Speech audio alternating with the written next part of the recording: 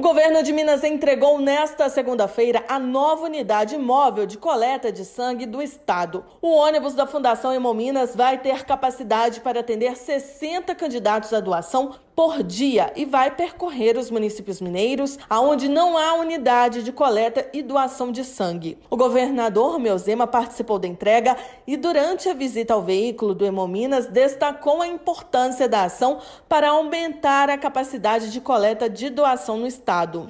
Esse ônibus é extremamente importante porque ele vai ampliar em muito a doação de sangue em Minas Gerais. E hoje, como nós temos um plano que é o Opera Mais para tentarmos reduzir as cirurgias eletivas no estado, nós acabamos criando a necessidade de mais sangue porque toda cirurgia, dependendo, consome uma quantidade. E esse ônibus vai poder capturar doadores em locais que até então é, essas pessoas precisavam viajar para doar sangue. O secretário de Estado de Saúde, o Dr. Fábio Baquerete, destaca o investimento do governo no serviço e explica como vai ocorrer o atendimento. Cerca de 2 milhões, pouco mais de 2 milhões de investimento. Esse ônibus ele é itinerante ele roda todo o estado, ele estaciona em grandes locais é, de circulação.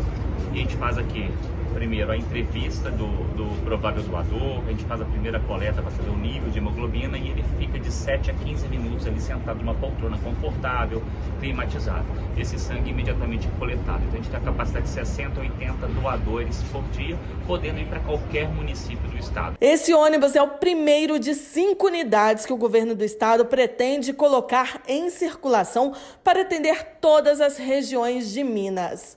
Da Agência Minas, Camila Kiffer.